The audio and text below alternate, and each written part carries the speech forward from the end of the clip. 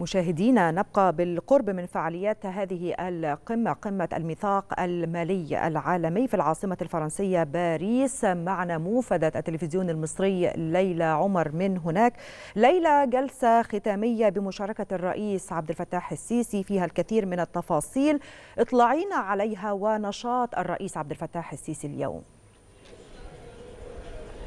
نعم نهى الريادة هي مسؤولية. كانت هذه كلمة للرئيس عبد الفتاح السيسي داخل الجلسة الختامية لقمة التمويل ميثاق التمويل العالمي. هذه القمة الهامة التي جمعت عدد كبير من قادة دول العالم. وكما تابعنا كلمة الرئيس عبد الفتاح السيسي التي أشار فيها إلى مجموعة من النقاط الهامة منها التجربة المصرية في مجال الطاقة النظيفة وحرص مصر على تحقيق التنمية مستدامة. لكن بشكل عام كان هناك مقترحات كثيرة في هذه القمة وحديث عن النتائج النهائية.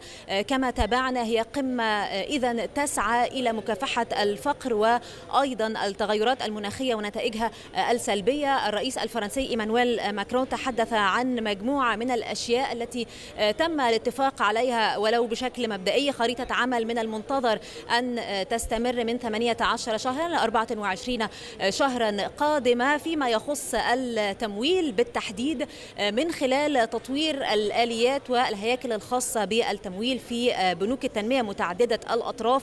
وأيضا هذه الآليات لابد أن تكون مرنة بحيث تكون متوائمة مع مختلف الدول وتصلح لأنظمتها المختلفة. كما أشار الرئيس الفرنسي إيمانويل ماكرون إلى نقطة هامة أيضا وتعهدات 100 مليار دولار. هذه ال 100 مليار دولار هي من الدول المتقدمة من المفترض أن تقدمها للدول النامية والدول الأكثر فقرا من أجل مكافحة تغيرات المناخ بالإضافة إلى تعهد سمعناه من وزيرة الخزانة الأمريكية التي تحدثت عن 200 مليار دولار. هذه الدولارات ستكون مقدمة من البنوك التنموية متعددة الأطراف حتى تتمكن الدول النامية والدول الأكثر فقرا من أن تتعامل مع تبعات قضايا التغيرات المناخية وأيضا قضايا أخرى مثل الأزمة الروسية الأوكرانية وجائحة كوفيد وآثارها السلبية.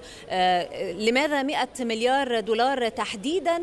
تحدثت رئيسة صندوق النقد الدولي أنه هذا قابل للتحديث أو ربما للزيادة لكن لابد من بدء إجراءات لتوصيل هذه الأموال للدول النامية حتى تستطيع تحقيق هذا التقدم. مقترحات عدة كانت من خلال هذه الجلسة الختامية كما ذكرت ووثيقة عمل بالإضافة إلى حديث أيضا عن فكرة العملات. الرئيس البرازيلي لولا دا سيلفا تحدث عن العملة البرازيلية وأيضا لماذا يتم التداول دائما بالدولار الأمريكي.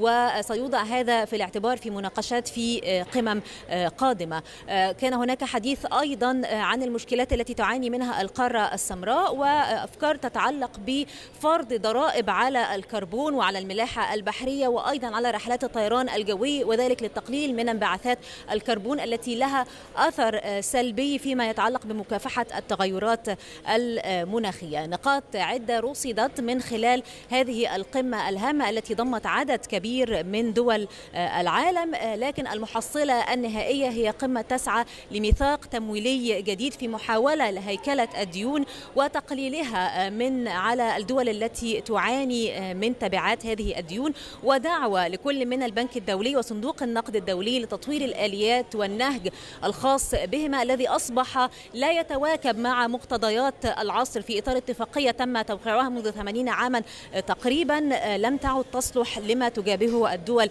الآن وسيكون هناك بالتأكيد عمل على الإقراض في هذه البنوك وكيفية تقديم الأموال للدول التي تحتاج إلى ذلك من الدول النامية. نهى كنت تتساءلين عن نشاط الرئيس عبد الفتاح السيسي هو كان حاضرا في هذه الجلسة الختامية بالكلمة الخاصة به التي وجه فيها شكر للرئيس عبد الفتاح السيسي نهى وأكد على نقطة هامة وهي أن الدول الإفريقية حتى لو كانت متقبلة أو متلقية لبعض هذه الأموال والمعونات فعليها بشكل أساسي أن تكون محركا فاعلا ألا تكون شاهدا فقط. لكن عليها أيضا أن تقدم أفكار لتساعد على تحقيق التنمية المستدامة وأن تتعاون مع الدول المتقدمة حتى تستطيع الخروج من أزماتها المختلفة وتحقيق أجندة التنمية المستدامة لعام 2030 على هامش القمة التقى الرئيس عبد الفتاح السيسي اليوم بوزير المالية الفرنسي. تناولت هذه المباحثات العلاقات